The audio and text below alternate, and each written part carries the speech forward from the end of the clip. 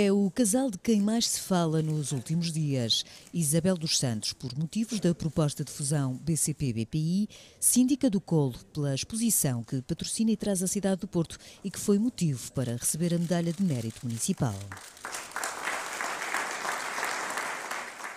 Distinção que ganhou contornos mais ou menos controversos dentro da autarquia.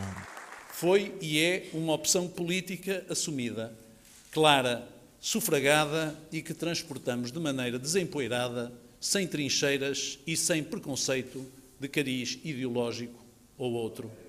A dúvida de uma distinção de mérito grau ouro a alguém sem qualquer ligação à cidade colocou-se na altura de apresentada a proposta. O voto a favor foi unânime no Executivo, mas não na Assembleia Municipal.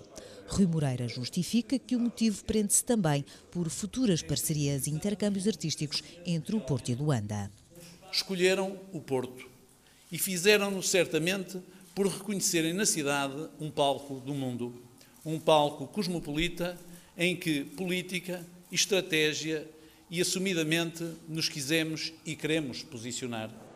Alheio talvez a todo este ambiente menos ligado às artes, síndica do Colo, colecionador e presidente da Fundação que traz a exposição ao Porto, agradece o gesto simbólico da medalha e no discurso já de abertura confirma o aproximar das relações entre Portugal e Angola.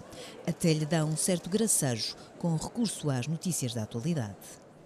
Não faltarão alguns sépticos que verão aqui os sinais de uma OPA mais ou menos amigável lançada sobre a cultura portuguesa onde vejo laços cada vez mais fortes e mutuamente benéficos apertarem-se entre Angola e Portugal.